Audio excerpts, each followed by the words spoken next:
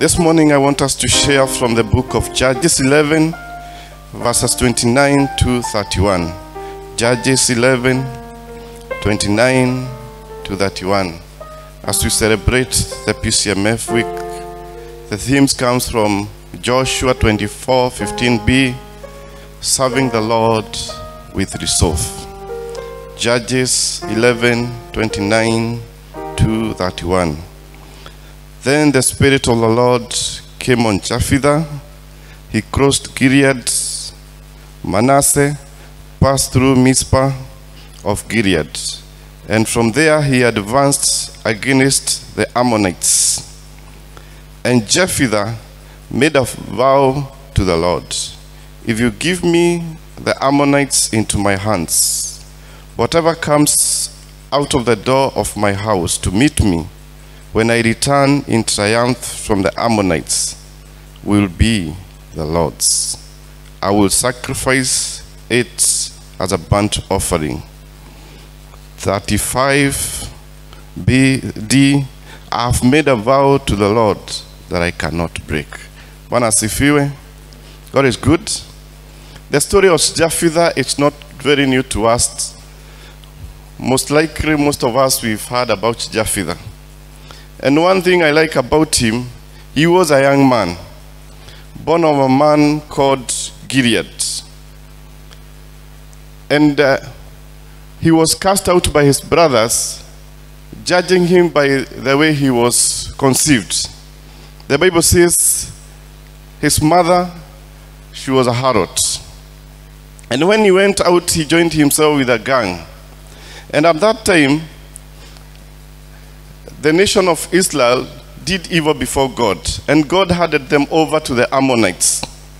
And in their misery, they cried unto the Lord. And the elders went to Jephthah and requested him to go and fight for them.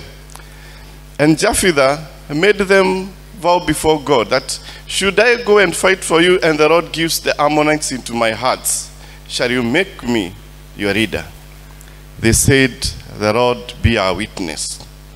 And Jephthah knew the power that the Ammonites had. He made a vow before God that if you go, if you, Lord, go with me this journey, O God, if you give me the Ammonites into my hands, O God, whatever comes to meet me when I return to my place, I will give it unto you. Little did he know that the Lord will give him victory. And the Lord did exactly that. He advanced against the Ammonites and he subdued them. When he went back in triumph, in joy, Guess who met him? His daughter. Amen. And he was devastated. He was like, I think I did not know this is what I was making about before God. And he said in his heart that I have made a vow before God that I cannot break. Amen.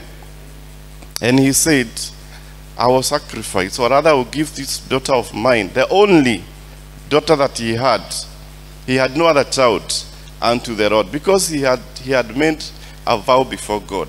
And this morning, I want to encourage men and the people of church today as we celebrate the PCMF week. The themes comes from Joshua 24 15b. And Joshua is saying, As for me and my house, I will serve the Lord. Amen. And I want to encourage you this morning it is about service. It is about resolving. It's about saying, I've made a vow before God that I cannot break. And many other times that we make vows before God, and when things turn to the good, we forget them. Amen? I'm sure kila mmoja hapa ashaifanya ahadi mbele ya Bwana na akaivuja. When we were hustling and we were very young and we had not married, we used to tell God, when you give me this, Lord, I shall do this. And the Lord did exactly that. Many other times we forget. Amen. Many other times when people are looking for jobs, they say, God, if you give me this job, I will do A, B, C, D. And when the Lord provides, you forget.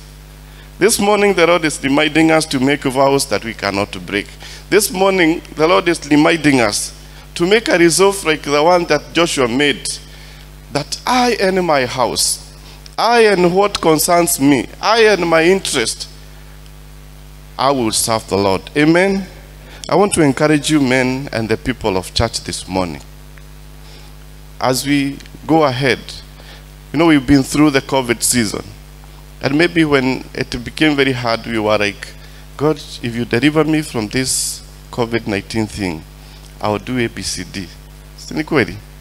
And this far that we have come, maybe there are things that we made before God, the vows that we made before God. I want to encourage you this morning. Let us go back to the Lord and tell Him, Lord, maybe I have done a vow before you, God, that I have not fulfilled. It is time. As Jephthah said, I have made a vow before you, God, that I cannot break. May the Lord bless you as you serve God, as you fulfill your vows before God. May the Lord bless you and do you good. Amen.